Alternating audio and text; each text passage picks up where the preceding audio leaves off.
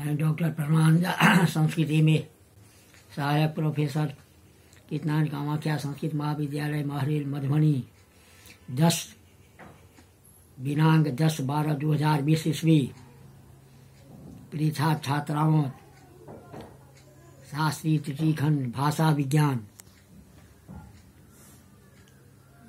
व्याकरण विभाग के लिए प्रश्न है बोली की भाषा बनने का कारण अथवा बोली भाषा कैसे बन जाती है? आज का यह प्रश्न है।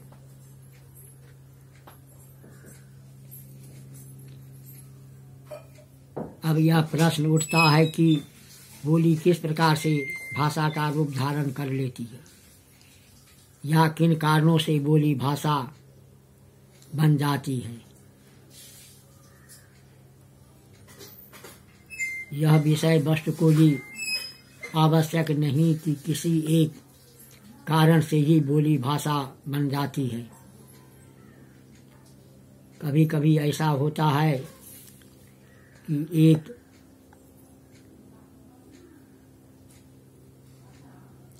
भाषा से यह कार्य पूर्ण होता है। इन कारणों का विचार करना उपयुक्त ही है। बोलियों की भाषा बनने में सबसे प्रधान कार्य संपर्क का आवश्यक होता है। बगैर संपर्क से कहीं कुछ नहीं हो सकता है। व्यक्तियों की आपसी संपर्क जितना अधिक होगा, बोली उतनी जल्दी भाषा का रूप धारण कर लेगी। संपर्क स्थापित होने से भाषा में किसी भी प्रकार की कठिनाइयाँ नहीं होगी और संपर्क होने से बोलियाँ बोलियाँ ही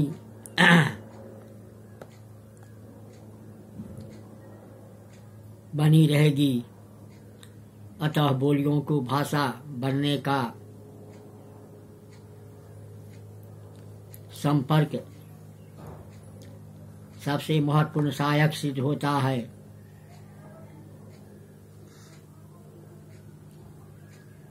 अधोलिखित पंक्तियों में इन्हीं कारणों पर संक्षेप में प्रकाश डाला जा सकता है जो इस प्रकार है। जैसे प्राकृतिक कारण। बोली भाषा बनने में संपर्क में प्राकृतिक कारण सबसे बड़ा हाथ रखता है। जैसे ऊँचे नीचे पहाड़ों अथवा गहरे समुद्रों को लांघना बहुत कठिन है।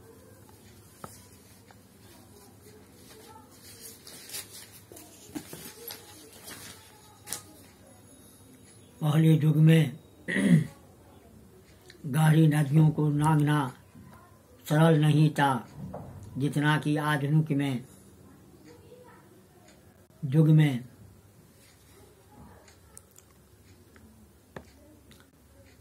सुलभ हो गया है। यही कारण है कि बोलियों को काफ़ी दिन तक बोलियाँ ही बनी रही, पर संपर्क स्थापित होने से बोलियों का सबसे विकास हो, होता गया। और इसके विपरीत समतल मैदान में आने जाने की अधिक साधनों की सुविधा हो गई और बोलियाँ जल्दी ही भाषा का रूप धारण कर लिया। दूसरा है सामाजिक कारण। सामाजिक संपर्क से या बोलियों की संख्या को कम कर भाषाओं की संख्या में वृद्धि करने में बहुत सहायता करती है। इस दृष्टिकोण से जैसे विवाह, मेले, दशहरे आदि पर्व अधिक महत्वपूर्ण माना जाता है। जब जो बोली, बोलने वाले परिवारों का संपर्क होता है। एक दूसरे पर भाषा का प्रभाव पड़ता है। तो इस तरह से धीरे धीरे सामाजिक कारण से बोलियों को कम कर भाषा में विकास होती है।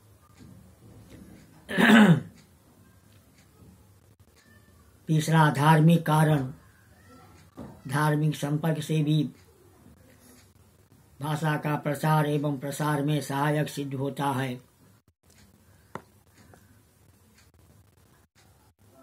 प्राचीन काल में भारत का प्राण धर्म ही प्रधान था, जिससे समस्त कर्म, यज्ञ, पूजा, संस्कार आदि संस्कृत के माध्यम से ही होते थे। जिससे संस्कृत जानना आवश्यक हो गया था।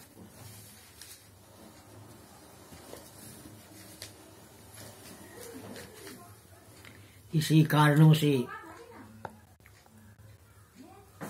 धार्मिक कारण से बोली भाषा बनने में सहायक सिद्ध होता है। चौथा साहित्यिक कारण बोली भाषा बनने का एक कारण साहित्यिक भी माना जाता है। जब बोलियों में प्रचुर मात्रा में साहित्यिक लिखा जा चुका है तो भाषा की श्रेणी में आ जाती है। यह आवश्यक नहीं है कि केवल साहित्यिक बल से बोली भाषा की बोली भाषा बन जाती है। फिर भी भाषा बनने भी साहित्य महत्वपूर्ण योगदान प्रदान करता है। इस तरह से बोलियों को कम कर साहित्य क्षेत्र में भाषा से भाषा विकास में सहायक सिद्ध होता है। जैसे पांचवा, शिक्षा। शिक्षा वास्तव में बोलियों को कम करके भाषा के विकास में सहायता सिद्ध होती है। शिक्षा के विस्तार के लिए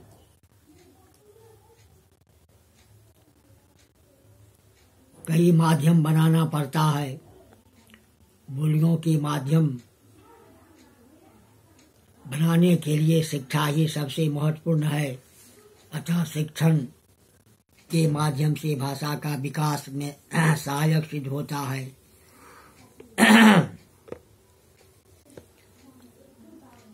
कुछ छठम छठम है आर्थिक आर्थिक आर्थिक कारणों से बोलियों को भाषा बनने की, बनने में सहायक सिद्ध होता है। आर्थिक कारण से एक केंद्र पर अनेक उद्योग धंधे आरंभ हो जाते हैं, जिससे अनेक क्षेत्रों से कार्यकर्ता लोग पधारते हैं, जिनकी बोलियाँ स्वाभाविक रूप से परिनिश्चित भाषा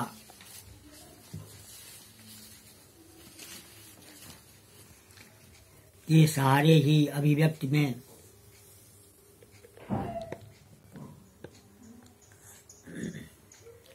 समर्थ बन पाती है और वहाँ बोलियों भाषा की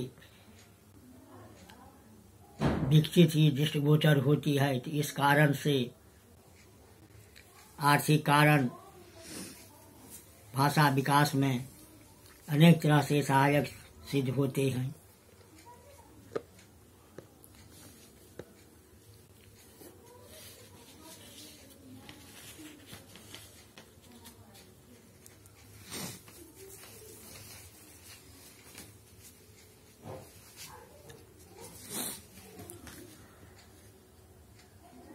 राजनीतिक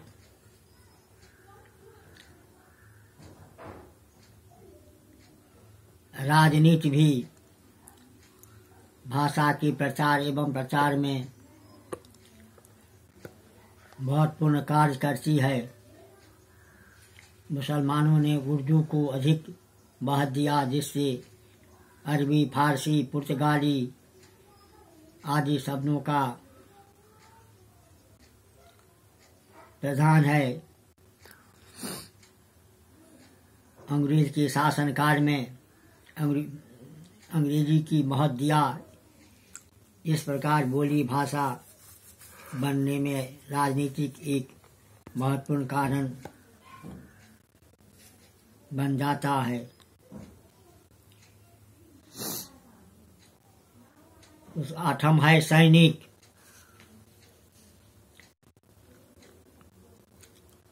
सेनाओं से भाषा प्रचार एवं प्रसार में अमूल्य योगदान हुआ करता है। एक सेना में अनेक बोलियों की, बोलने वाले क्षेत्रों के जवान होते हैं, उन्हें एक साथ रहना पड़ता है, जिससे विचार, विनिमय के लिए एक भाषा का अनुकरण करना पड़ता है। इस प्रकार देखा गया है कि सेनाओं से, के संगठन से भी भाषा विकास में सहायक सिद्ध होती है।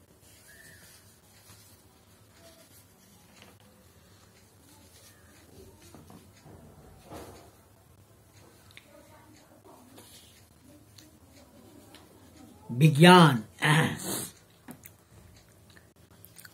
नवमा विज्ञान विज्ञान बोलियों को समाप्त करके भाषा के विकास में सर्वाधिक योगदान करता है। यातायात के साधनों से महीनों, दिनों, घंटों तथा अब तो क्षणों में होने लगी है, जिससे विभिन्न भाषाओं भाषी क्षेत्रों का संपर्क सरलता से हो जाता है। सामाजिक कारणों जैसे एक जगह खेल कूद विवाह, संपन्नता, धार्मिक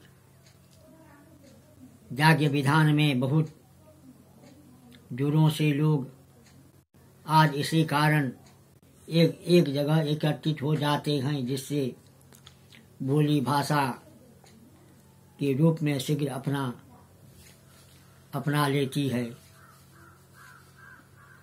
समाचार पत्र तथा पत्रिकाओं आदि से भाषा का लिखित रूप हमारे सामने उपस्थित हो जाता है।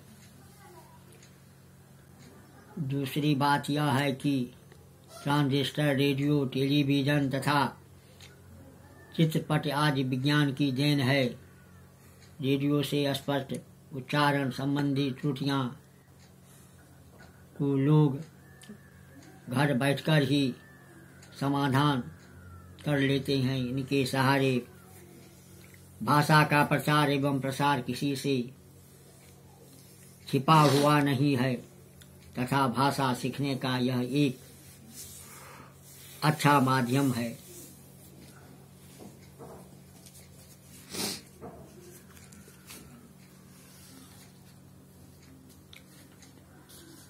डॉक्टर देवेंद्रनाथ शर्मा ने स्पष्ट शब्दों में कहा है कि विज्ञान बोलियों को भाषा में लाने के लिए